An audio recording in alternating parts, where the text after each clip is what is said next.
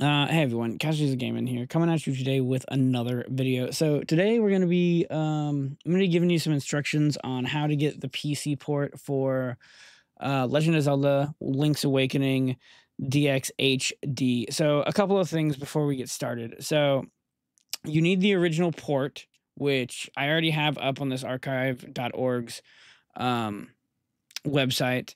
Uh, it is probably the easiest and most legal way to obtain it. There are a few other ways, uh, which I'm not going to get into. Um, it, it's the internet; they're there. If it, th- this is definitely what I would say the most comfortable way to grab this thing, and we're just going to leave it at that.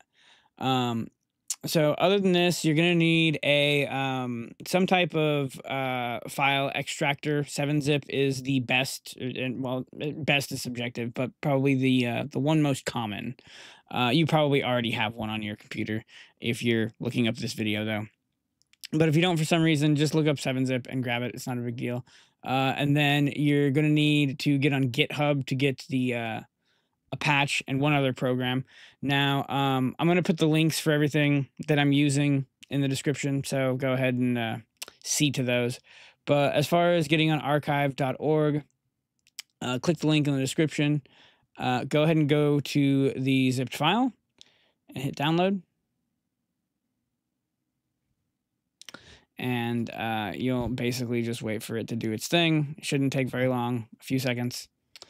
Okay, so we got that. So from there, um, there is a few things that you'll need.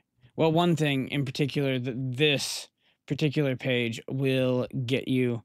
Uh, uh the the GitHub link that I'm going to give you is going to be this one. I think it'll be easier, and then you can migrate to what else you'll need. Um, so you'll need this dot .NET uh, the uh, 6.0.428 is just the one that's linked here.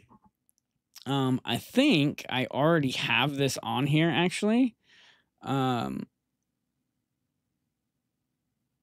but I'm not entirely sure to be honest. Um, wait for this thing to do its thing. This shouldn't take more than a few seconds. So uh, go ahead and get uh, migrate to your downloads folder somehow. So uh, we're going to go ahead and take this, put it on the desktop, make this really easy. Uh, go down, hit extract. Um, you can change it to the desktop right there if you want um, with your extractor. Otherwise, it will do this. Drag and drop to your desktop. Get out of there. Uh, you can go ahead and delete your um, your zipped version, lest you get a collection of zipped folders like I do on my PC. Okay, so after you're done with the extracting of Link's Awakening, go ahead and pull this up. You'll get a screen, installer screen like this. Just hit install, hit yes. It'll take a minute to do its thing. Okay, so once that's done, you can kind of ignore this. You won't need to do anything else with it. Uh, we're going to minimize that. We are going to go back here.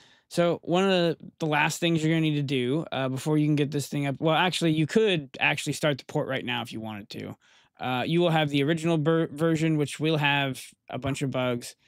Um, so the guy that's doing this on GitHub, this BigheadSMZ, has been updating this a lot, as you can see. Uh, the last update at the time of filming, which is September 19th, 2025, was three days ago uh, version 1.2.8.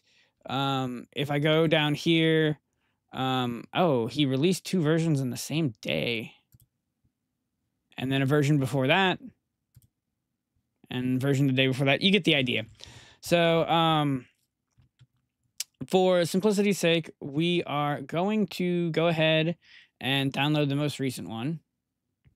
So that's done. Uh, if you get this little blue mark when you're downloading it, uh, go ahead and just allow download. If you don't do that, and then you try to go into your downloads folder and open it, it will tell you that this version does not work on your computer, at least on Windows. Um, okay, so go ahead and go to your downloads. So uh, this part is kind of important.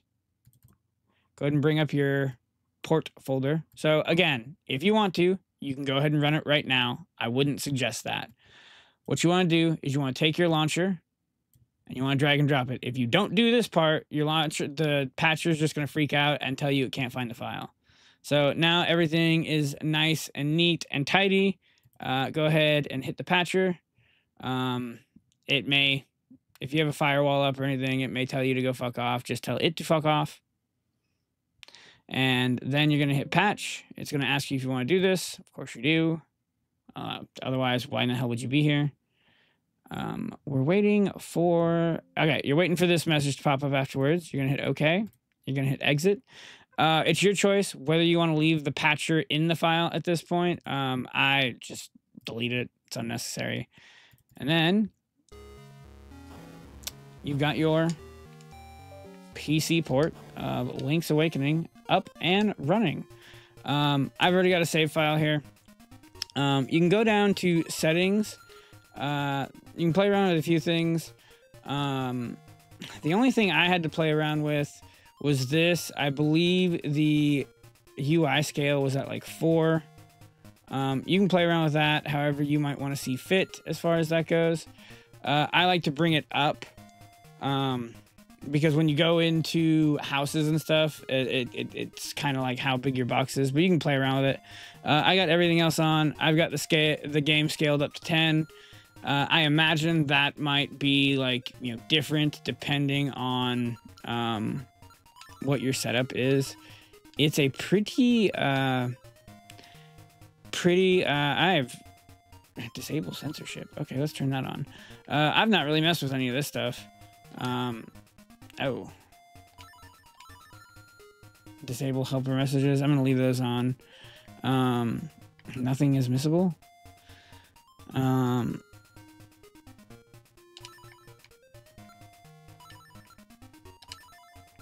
okay. So modifiers, what's here? Extra enemy HP, no damage allowance, no heart drops. Uh, okay, so most of these seem to be for masochists as far as damage multiplier and all that stuff goes. I'm not going to be doing any of that. Go ahead and back and launch. And as you can see, we have our PC port. I just got out of the uh, the house, so I haven't done anything uh, to speak of. I think this is cool, as I always do. Um, the controls are really, really smooth compared to the old Game Boy version. I I will be playing this to completion. Um, completion. Um, I can't wait to to get further into this. Anyway, that's the port. I can't really show you anything else because I'm not too far into it. It is what it is. Um, I've been Casualties of Gaming. Uh, if you like stuff like this, or like learning about ROM hacks, or maybe emulation devices, or that sort of thing, the kind of thing that might get me in trouble with certain companies one day, uh, go ahead and like, comment, subscribe, and all of that stupid shit that YouTubers like myself um, like to ask you guys to do. And uh, I will be seeing you on the next video.